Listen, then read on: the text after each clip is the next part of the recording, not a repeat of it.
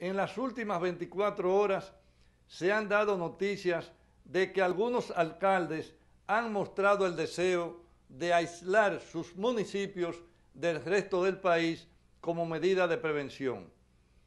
Seré enfático.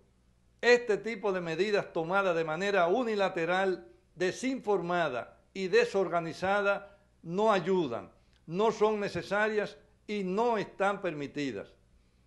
En primer lugar, porque aislar comunidades que no están afectadas no es posible, ya que la circulación de vehículos esenciales es más importante que nunca para el transporte de alimentos, la asistencia de salud o de emergencias.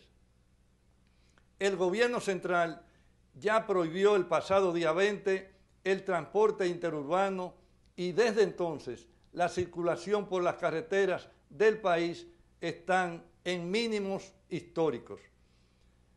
La que permanece ahora es la esencial para que el país tenga una respuesta coordinada a la emergencia y debe seguir circulando.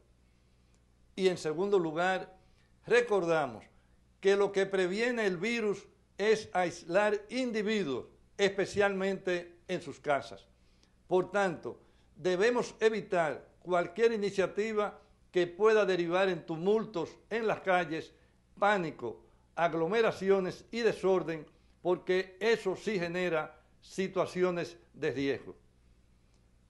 Pedimos a las autoridades locales a que pongan todo su empeño a que las medidas de aislamiento social se cumplan dentro de sus propias comunidades al tiempo que aseguren el tránsito de mercancías y vehículos por las carreteras de todo el país.